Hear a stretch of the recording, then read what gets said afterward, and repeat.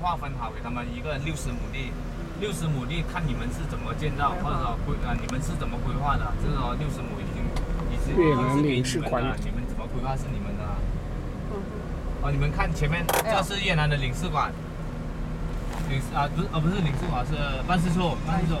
啊，哦你看，你们比如讲想去越南对吧？嗯，你们不需要去到越南办证或者越南边界就在这边。